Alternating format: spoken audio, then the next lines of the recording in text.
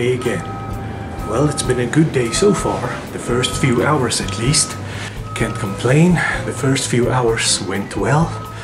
Unfortunately, by now, the sleepiness is creeping up on me, and it threatens to overpower me completely. One moment. Marius? Ja, hulle sal so 4 uur daar wees, ja. Ja, kyk maar net laat daar mense daar is. Ja. Wat ziens? Uh, where were we? Uh, yeah. I think during lunch hour I'll sleep a little bit.